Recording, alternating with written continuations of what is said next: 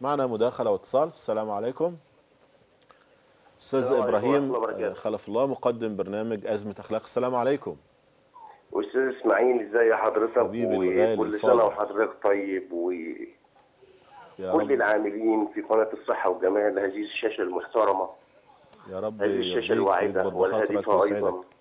كل التحية وكل الحب لكل العاملين في هذه القناة المحترمة. شكرا أستاذ إبراهيم. ربنا يحفظك ويبارك في حضرتك. وموفق دايما طبعا في- آه، كل التحية لهذا البرنامج اطفالنا أو فرحة اطفالنا في العيد. آه، أسأل الله السميع العليم المجيب آه، أن يجعلها آه، أيام مفترجه على. الأمة الإسلامية وأن يرفع البلاء آمين يا رب. والوباء. عن هذا البلد العظيم مصر. آمين يا رب. وسائر بلاد المسلمين اللهم آمين يا رب العالمين. آمين.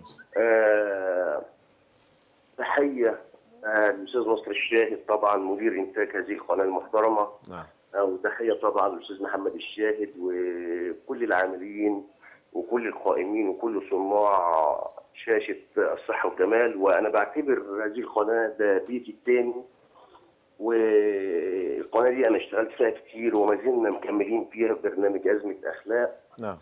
آه، فعلا كانت آه، نبتة طيبة. وكان الأستاذ نصر الشاهد له دور كبير جدا جدا جدا في ظهور هذا البرنامج للنور. نعم. آه، فكل التحية لكل نعم. العاملين في هذه الشاشة وكل سنة وحضرتك طيب يا أستاذ إسماعيل. وكل الدعم أستاذ إبراهيم قول لنا استقبلت العيد. إزاي؟ استقبلت العيد إزاي؟ والنهاردة تاني أيام العيد. آه الحمد لله رب العالمين استقبلنا العيد وفرحنا بالعيد طبعا. ويعني ما حدش يحس بعيد أكتر من اللي صام وصلى وقام آه الليل.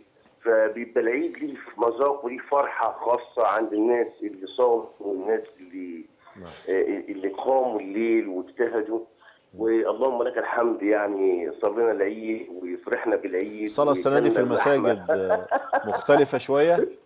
الصلاه في ال- آه بالنسبة صلاة العيد؟ آه. والله أنا ب- أنا بعتبر صلاة العيد دي بتبقى فرحة في القلب يعني هي نعم. مش أكتر من هي مظاهر بس هي بتبقى فرحة في القلب يعني نعم كونك بتسمع التكبير أو كده آه آه، في آه، يعني التزمنا بال بالتعليمات. بتاعت وزارة الصحة ولكن هي فرحة العيد في القلب يعني تحس بقى بقلبك كده إن في فرحة خاصة يعني مختلف عن زمان أستاذ إبراهيم يعني. عيد السنة دي والسنة اللي فاتت مع الوباء. نسأل نعم. ربنا العيد السنة دي والسنة اللي فاتت مع وجود هذا الوباء نسأل ربنا سبحانه وتعالى يرفع عننا هذا الوباء. مختلف عن زمان؟ آه طبعا مختلف. نعم. آه لكن إحنا بنشوف يعني بنحس بفرحة العيد في عيون أطفالنا. يعني الواحد لما بيكون عنده ولد أو بنت بنحس بالعيد في عيونهم يعني. واخد حضرتك؟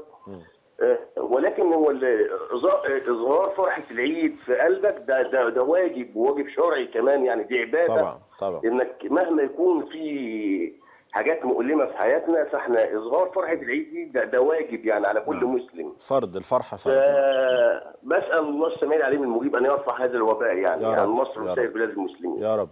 رؤيتك أستاذ إبراهيم وحضرتك للبرنامج رؤيتك لبرنامج حضرتك المستقبلية. وهو كان برنامج برنامج من؟ البرامج المتميزة برنامج حضرتك. آه برنامج أزمة أخلاق آه على مدار ثلاث آه سنوات متكاملة آه في قناة الصحة والجمال ما زال مستمر إن شاء الله بإذن الله. آه ناقشنا كتير من الأزمات آه وعالجنا كتير كنا بنطرح الأزمة ونطرح المشكلة وكنا بنقوم على حلها. واستضفنا كتير قوي قوي من أساتذتنا ومن علمائنا. أستاذ إبراهيم ينصحنا مع السن البرنامج الصغير. الوحيد مع السن الصغير. تنصحنا بإيه نعم. مع مع الأطفال في المدارس والمعاهد والحضانات تنصحنا بإيه في السن الصغير في التربية وأزمة أخلاق والله يعني أنا يعني في ظل ال- ال- الميديا وفي ظل العالم المفتوح يعني لازم يكون كل أب وكل أم رقيب فعلا على طفلهم أو على ابنهم نعم. ما نتركش الموضوع للمدرسة أو للحضانة يعني مش هتكون بالدور الكامل أو بال- بالعملية المطلوبة يعني. نعم. كل أب وكل أم لازم زي ما بتأكل وتشرب وتلبس وتمرض لازم يكون تكون رقيب جدا جدا جدا على كل تصرف بيتصرف مفيش حاجة اسمها صغير أو كبير دلوقتي. نعم. يعني مفيش حاجة اسمها ده طفل لا سيبه يعمل اللي هو اللي على مزاجه وسيبه يعمل اللي هو عايزه. لا خالص لازم يكون رقيب جدا جدا جدا على كل تصرف ممكن الطفل يتصرف والنشأة من الأولى يعني النشأة الأولى ديت مهمة جدا جدا جدا.